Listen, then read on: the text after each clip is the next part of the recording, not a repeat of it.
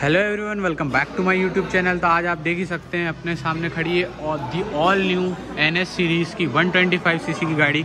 N S one twenty five twenty twenty four facelift two model तो आज मैं आपको इसका टोटल ओवरऑल डिटेल रिव्यू दूँगा कि इसमें क्या मेजर चेंज है। तो मैं पहले ही बता देता हूँ गाइस इसका हेडलाइट और इसका डिस्प्ले में ही मेजर चेंजेस हैं। बाकी इसका जो है पूरी प्रोफ़ाइल सेम टू सेम है। बाकी यहाँ इंडिकेटर में आपको फ़र्क दिख रहा होगा, मैं बाद में बता दूँगा, काय के हैं, क्या चेंजेस हैं। तो बने रहे मेरी इस वीडियो पे। बाकी चलिए इस वीडियो को स्टार्ट करते हैं और ऐसी मोर डिटेल रिव्यूज़ के लिए चैनल को सब्सक्राइब और बेल आइकन ज़रूर दबाएँ।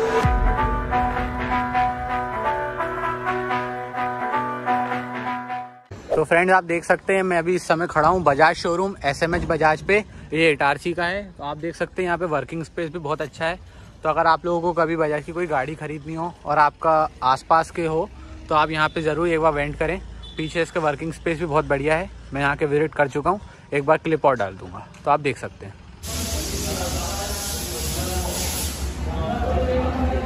अब अपन इसके टायर प्रोफ़ाइल में आ जाए तो पिछली वाली से इसमें टायर प्रोफ़ाइल में तो कोई अंतर है नहीं। अस्सी, सौ, सत्रह का आप देख सकते हो, इसमें टायर आपको देखने को मिलता है। ट्यूबलेस है रेडियल तो नहीं ही है। यूरो ग्रिप के टायर हैं, जो कि स्लिप तो नहीं करते। एमआरएफ के तो यार अच्छे आते हैं, पर एमआरएफ के दिन तो ज़्यादा बढ़िया था। और पीछे के टायर प्रोफ़ाइल पे आ जाए तो आप देख सकते हैं हंड्रेड नाइनटीन के हैं, सत्रह इंच अलॉय पे। इसमें भी रेडियल नहीं है, बाकी ट्यूबलेस ज़रूर मिल जाएगा। इसके ब्रेक्स की बात कर लें तो यार कैलेपर पे कुछ कंपनी दी नहीं है तो मैं बता नहीं सकता। बाकी हाँ इसका जो डिस्क साइज़ है वो टू थर्टी एम का है। और इसमें पीछे आपको ड्रम ब्रेक देखने को मिलते हैं। यार मतलब दे देना था डिस्क वेरिएंट ही दे देते तो ज़्यादा बढ़िया था। वेरिएंट भी नहीं है तो पता नहीं क्यों नहीं दिया। बाकी ये वन थर्टी एम का ड्रम ब्रेक है। मुझे तो नहीं लगता कोई इतनी बढ़िया परफॉर्मेंस देता होगा ये। कि सबसे मेजर प्रॉब्लम है जो मैं आपको इसमें बताने वाला हूँ। यहाँ पे आप देख सकते हैं। आपको ज़रूर कुछ ना कुछ मिसिंग हो रहा होगा।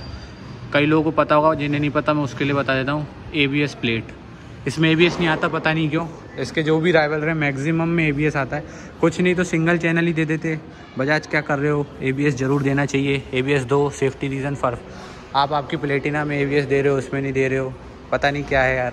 इसके सस्पेंशन की बात करें तो आप देख सकते हैं इसके फ्रंट जो है टेलीस्कोपिक सस्पेंशन है। 125 सीसी यार, वो तो 100 परसेंट वन टेलीस्कोपिक ही आने। बाकी ये थोड़ा सा आप देख सकते हैं। समझ रहे हो आप? इससे ज़्यादा मैं कुछ बताऊँगा नहीं। इसके रेयर सस्पेंशन पे आ जाएँ। तो आप देख सकते हो मोनोस्कोपिक सस्पेंशन आते हैं स्पोर्ट्स बाइक है तो मोनोस्कोपिक यही है आपको सेम मड कार्ड यहाँ पे देखने को मिलेगा, कार्बन पैटर्न डिज़ाइन में same to same fully plastic single पे। अब इसके फ्रंट प्रोफ़ाइल में आया है तो आप देख सकते हैं, बंद में कुछ गाड़ी ऐसी दिखती है। हमें आपको एक बार चालू करके बता देता हूँ। देख सकते हैं गाइस क्या डी आर एल्स हैं, क्या हेडलाइट सेटअप है। डी आर एल्स इसका कहीं ना कहीं आप देख सकते हैं लाइटनिंग शेम से एक्सपा इंस्पायर है। Sorry for my bad English बाकी ये इसका डिपर है और ये इसका अपर है। थ्रो की बात तो मुझे करने की लगता नहीं की ज़रूरत है, आप बजाज की गाड़ी उस जानते हैं थ्रो बहुत अच्छा होता है। बाकी इसमें हेलोजन इंडिकेटर मिलते हैं। यहाँ कहीं ना कहीं इसका जो अब नया राइवल है एक्सट्रीम और रेडर है, उसमें भी आजकल शायद एलईडी आने का चल रहा है। बाकी इसमें एलईडी इंडिकेटर दे देना चाहिए था। बाकी फ्रंट प्रोफ़ाइल कुछ इस तरीके से आती है, जो कि मुझे देखने में बहुत अच्छी लगती है। और इसके बाइज़र की बात करें तो आप देख सकते हैं बाइज़र में एक माइनर सा चेंज है। ये थोड़ा सा उठ गया है अपलिफ्ट हो गया है। बाकी डिज़ाइन तो सेम ही है। और यहाँ पे आपको एक बजाज का बढ़िया सा लोगो देखने को मिल जाता है। अब इसके बैक प्रोफ़ाइल पे जाते हैं गाइस तो आपको सेम वही का वही बैक प्रोफ़ाइल आज भी देखने को मिलता है फुल एलईडी सेटअप के साथ। बाकी यहाँ इंडिकेटर नहीं है एलईडी बता चुका हूँ।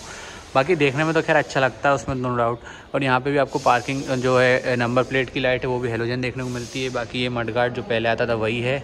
और टायर साइज़ वगैरह आप बता ही चुका हूँ, बाकी पीछे से इसका लुक कुछ ऐसा आता है गाइस तो इसका साइड प्रोफ़ाइल की बात करें तो आप देख सकते हैं साइड से बिल्कुल सेम टू सेम ये वही अपना मज़ेदार वुल्फ वाला डिज़ाइन देख सकते हैं। पीछे N S one twenty five का लोगो है। पल्सर जो हमेशा से मुझे बहुत पसंद है ये लोगो मेरी गाड़ी में भी है तो मुझे बहुत पसंद आता है। और यहाँ पे आपको 125 का लोगो देखने को मिलेगा, यहाँ फुल इंजेक्शन का लोगो मिलेगा। और इंजन पे आपको बजाज का लोगो देखने को मिल जाता है। डी इंजन नहीं है तो डी का इसमें लोगो नहीं है। और एक अच्छी बात है, इसमें आपको किक देखने को मिल जाती है। बाकी यही कुछ इसकी साइड प्रोफ़ाइल थी। इसका सबसे वर्स्ट पार्ट मुझे अभी तक का लगा, इसका बेली पेन देख सकते हैं मतलब ऐसा लग रहा है कि हल्का सा एक डिज़ाइन पैटर्न चलाने के लिए यहाँ पे बेली पेन दे दिया है। बाकी इसकी क्वालिटी मुझे इतनी कोई खास नहीं लगी और बहुत पतला सा है। मतलब आप देखो तो इसमें आप देख सकते कितना गैप है। मतलब आप देख रहे हो, बहुत पतला सा लगा मुझे इसका बेली पेन इसके इंजन स्पेसिफिकेशंस की बात करें तो 124 सीसी की गाड़ी है जो कि मैक्स पावर प्रोड्यूस करती है 11.8 बीएचपी की 8500 आरपीएम पे और मैक्स टॉर्क प्रोड्यूस करती है 11 एनएम का 7000 आरपीएम पे। अब इसके माइलेज की अपन बात करें गाइस तो माइलेज इसको आपको 45 टू 50 का मिलेगा और ओनरशिप रिव्यू के हिसाब से 49 तक का माइलेज आपको ये गाड़ी आराम से दे देगी अगर आप 70 टू 80 पे क्रूज़ करते हैं कहीं पे भी। और राइडिंग रेंज की बात करें तो आपको 594 किलोमीटर की इसमें राइडिंग रेंज मिलती है और टॉप स्पीड जो है 103 किलोमीटर की है। राइडिंग मोड्स वगैरह तो इसमें नहीं आते अभी भी। गेयर बॉक्स की बात करें तो आप देख सकते हैं इसमें पाँच गेयर आते हैं, जो कि पहले से ही आ रहे हैं वन डाउन फोर अप के साथ। अब इसके डायमेंशंस की बात करें तो इसका जो कर वेट है 144 फोर्टी का है। सीट हाइट जो है वन एट हंड्रेड की है। ग्राउंड क्लियरेंस की बात करें ग्राउंड क्लियरेंस बहुत अच्छा है। एक्चुअल में रियल में बहुत अच्छा है। स्प्लेंडर से भी ज़्यादा अच्छा है। 179 सेवेंटी mm का ओवरऑल इसकी जो लेंथ है वो 2012 है। विथ जो है 810 mm की है. ओवरऑल हाइट जो है 1078 mm की है. व्हील बेस इसका 1353 mm का है. अब मैं आपको एक थोड़ा सा एक इन्फॉर्मेटिव वीडियो के हिसाब से बता देता हूँ. उसमें जो आपकी मैन्युफैक्चरिंग वारंटी है, जो पाँच साल की कंपनी क्लेम करती है, या तो आप इसे पचहत्तर हज़ार किलोमीटर चला लो, या तो पाँच साल रगड़ लो तो आपको इसकी मैन्युफैक्चर वारंटी रहेगी. टैंक कैपेसिटी की बात करें तो 12 लीटर की टैंक कैपेसिटी है, जो कि नो रिज़र्व पे है. और इसमें आपको ई ट्वेंटी फ्यूल इंजेक्शन दिखेगा, जो कि यार आजकल तो खैर कॉमन है, इसके बारे में मैं आपको बार बार क्या ही बताऊँगा। और यहाँ पे आपको एक ड्राइवर के लिए पैड देखने को मिल जाता है कम्फर्टनेस के लिए। अब इसके हैंडल की प्रोफ़ाइल की बात करें तो आपको इसमें हैंडल में कोई मेजर चेंजेस नहीं मिलते, बस आपको यहाँ पे एक मोड का बटन मिल जाता है। और यहीं पे इसका अपर डिपर स्विच भी इसी में इल्यूमिनेट कर दिया है पासिंग स्विच के साथ। और पहले से जो इसकी बटन की क्वालिटी है, वो मुझे इम्प्रूव लगी है। बाकी हैंडल वही सेम आता है। अब इसका मीटर के बारे में अपन बात करते हैं। तो आप देख सकते हैं गाइस कुछ मीटर इस तरीके से चालू होता है। बड़ा प्यारा लग रहा है मीटर, मुझे पसंद आया। मैं फिर बोलूँगा एक बार आप शोरूम आके ज़रूर इस मीटर को देखें, क्योंकि कहीं ना कहीं मुझे ऐसा फील हुआ कि वीडियो में थोड़ा सा छोटा फील होता है। बाकी आप इसको लाइव देखते हैं तो ये मीटर बहुत अच्छा है। कहीं ना कहीं एम जितना बड़ा है। अब इसमें मीटर पे आ जाए तो यहाँ पे आपको न्यूट्रल का साइन यहीं पे आपको जो है इलेक्ट्रॉनिक कन्फिग्रेशन साइन और यहाँ पे आपको हीट का साइन और यहाँ पे आपको बजाज का साइन मिल जाएगा और यहीं पे आपको इंडिकेटर के साइन देखने को मिल जाते हैं। और इसके मेजर इसकी बात करें तो आपको यहाँ पे मोड मोड और सेट के दिया है।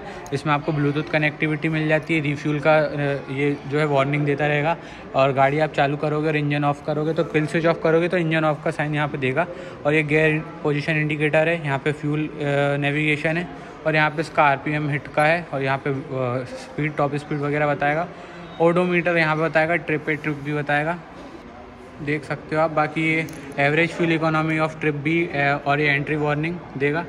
और ये एंट्री सेटिंग आप इसको मोड को दबा के रखेंगे तो आप इससे ब्लूटूथ कनेक्ट कर सकते हैं इसके ऐप बजाज के ऐप के द्वारा। और यहाँ पे आपको आरपीएम लिमिट का जो है लाइट यहाँ पे आपको देखने को मिल जाता है। देखा जाए तो बेसिक के साथ एक्स्ट्रा नीड जो है ब्लूटूथ कनेक्टिविटी वगैरह यहाँ पे आपको डिस्प्ले में देखने को मिल जाती है और देखने में ज़रूर अच्छा लगता है। ब्लैक एंड वाइट है।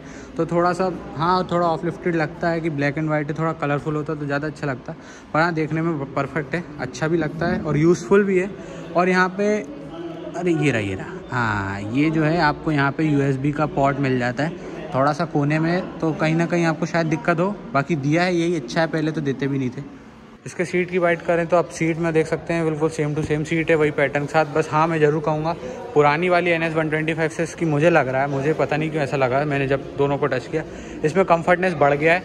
बाकी आपको ग्रैब हैंडल दोनों के सेम मिलते हैं, बिल्कुल सेम टू सेम है, कोई भी अंतर नहीं है। मैं आपको इसका एक बार एग्जॉस्ट नोट सुना देता हूँ। देख सकते हैं आप इसका, बहुत रिलायबल फील होता है, इंजन तो खैर। इंजन में तो कोई दिक्कत है नहीं, वह सुन लेते हैं बस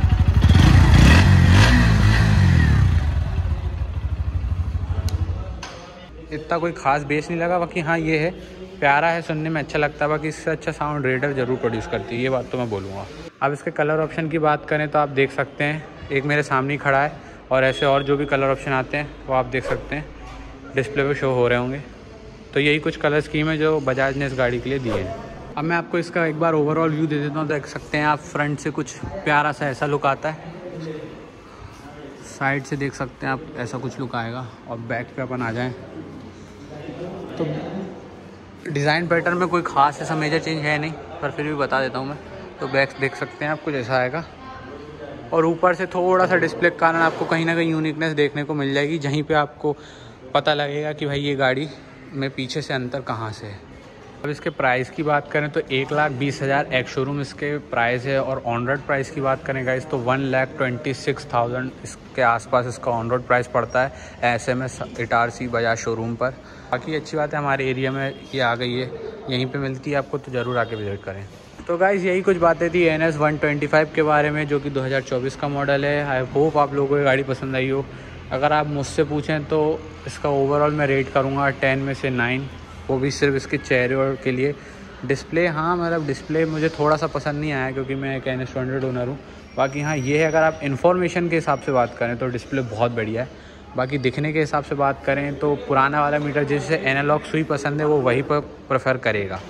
बाकी हाँ ये है बजाज ने परफेक्ट काम किया है। बाकी ऐसी मोर इन्फॉर्मेटिव वीडियोस के लिए मुझे चैनल को सब्सक्राइब करें और आप लोग मुझे कमेंट ज़रूर करें। अगर आपको कोई भी गाड़ी के बारे में इन्फॉर्मेशन चाहिए हो, मैं कोशिश करूँगा कि उसके बारे में एक स्पेसिफिक वीडियो बनाऊँ और आप लोगों को मेरे चैनल पर देखने को वो वीडियो मिल जाए। बाकी इस वीडियो को यहीं पे एंड करते हैं। आप मुझे इंस्टाग्राम पर भी फॉलो कर सकते हैं। मैं डिस्क्रिप्शन में आपको उसकी लिंक दे दूँगा। बाकी ride hard ride safe stay safe thanks for watching मिलते हैं अगली वीडियो में।